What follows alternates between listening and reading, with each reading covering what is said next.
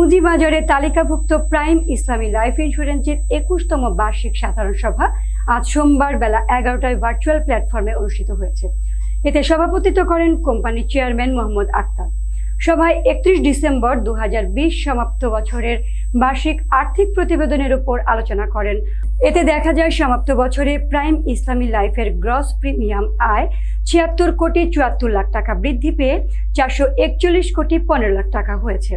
দু হাজার উনিশ সালে ছিল তিনশো চৌষট্টি কোটি চল্লিশ লাখ টাকা।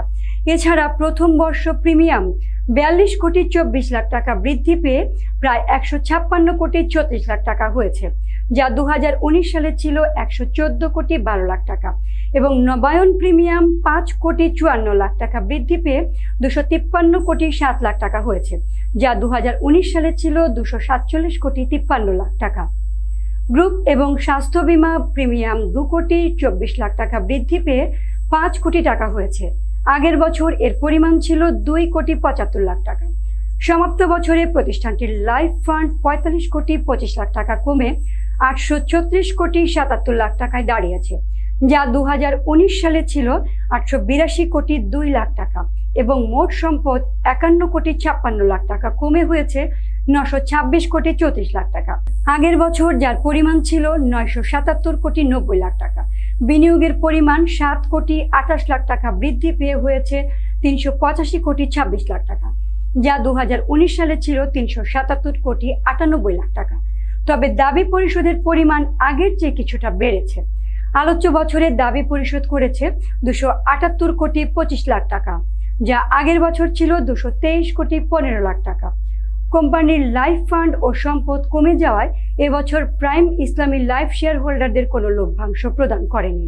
বার্ষিক সাধারণ সভায় অন্যান্যদের মধ্যে উপস্থিত ছিলেন কোম্পানির পরিচালক মোহাম্মদ ফাইজুল করিম, মোহাম্মদ আরিফ হোসেন ও মোহাম্মদ নাসির বিন জালাল, স্বতন্ত্র পরিচালক মোহাম্মদ আব্দুল কুদ্দুস ও মোহাম্মদ তৌহিদুর রহমান সহ কোম্পানির প্রধান নির্বাহী কর্মকর্তা মোহাম্মদ আপেল মাহমুদ প্রমুখ। শেয়ার হোল্ডার বৃন্দের স্বতঃস্ফূর্ত অংশগ্রহণে তাদের বিভিন্ন প্রশ্নের জবাব ও সভা সঞ্চালনা করেন কোম্পানি সচিব এম নুরুল আলম, এফসিএস।